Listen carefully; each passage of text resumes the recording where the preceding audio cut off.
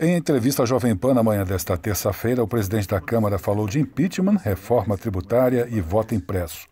Sobre denúncias de irregularidades na compra de vacinas, Arthur Lira reafirmou que não vê até o momento elementos que possam sustentar a abertura de processo de impeachment contra o presidente da República, Jair Bolsonaro. Nesse momento, não há nenhum fato novo que justifique que tenha alguma ligação direta com o presidente da República, a não ser o fato de um parlamentar ter dito que entregou a ele alguns documentos invoices que não justificam, por enquanto e até agora, com muitas versões eh, de parte a parte, a abertura de um processo de impeachment que desestabilizaria a economia, pararia o Brasil por mais de seis meses, um ano, que não é o caso nesse momento. Arthur Lira também comentou a possível votação da PEC que trata do voto impresso, marcada para quinta-feira na comissão especial. Nesta segunda-feira, a proposta quase foi retirada de pauta, o que revelou uma grande divisão dos deputados sobre o assunto. Disputei já oito eleições, seis eleições de urna eletrônica. Eu não tenho queixas da urna eletrônica, mas se você não tem problema no sistema, eu também sempre disse que eu não veria problema em ter uma auditagem para acabar com a versão que se aposta na rua de que tem fraude no sistema.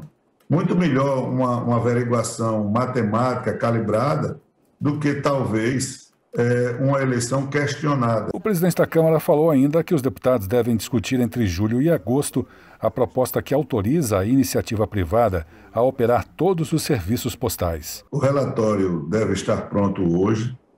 O relator ele vai seguir o mesmo caminho de todos os relatores. Ele vai apresentar o seu relatório nos, nos líderes da base, vai é, receber sugestões, modificações.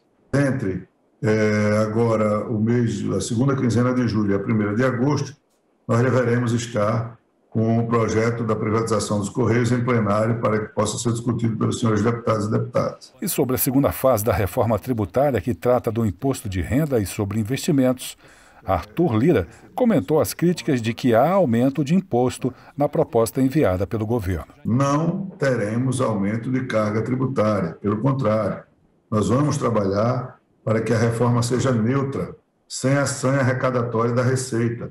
Né? Às vezes, um projeto de lei é feito no governo a várias mãos, e nesse, nesse aspecto ele pode chegar aqui com algumas disparidades. O Congresso tem a obrigação maior, e por ser a casa das leis e do povo, de corrigir e fazer com que é, se pague imposto no Brasil quem ganha mais. O Brasil é um dos únicos países do mundo em que 21 mil pessoas, por exemplo, podem receber 231 bilhões de reais sem pagar um real de imposto. Então, essa distorção nós temos que corrigir para que aquele que ganha menos pague menos.